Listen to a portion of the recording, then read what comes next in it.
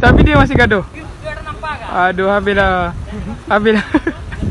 eh, jangan gaduh, jangan gaduh. Eh, jangan gaduh, jangan gaduh.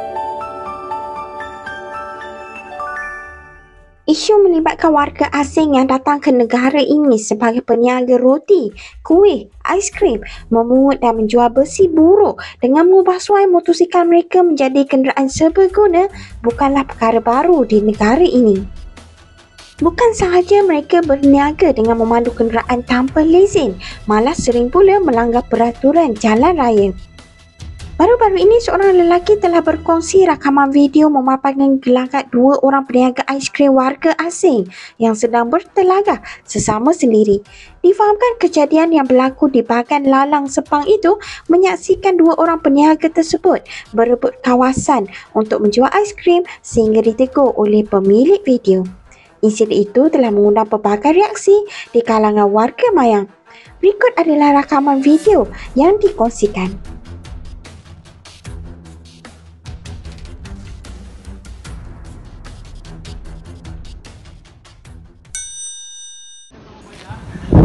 Aku nak beli aiskrim je. Aku nak beli aiskrim. Jangan gaduh.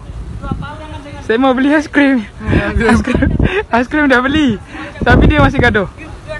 Aduh, habislah. Habislah. eh, jangan gaduh, jangan gaduh. Eh, jangan gaduh, jangan gaduh.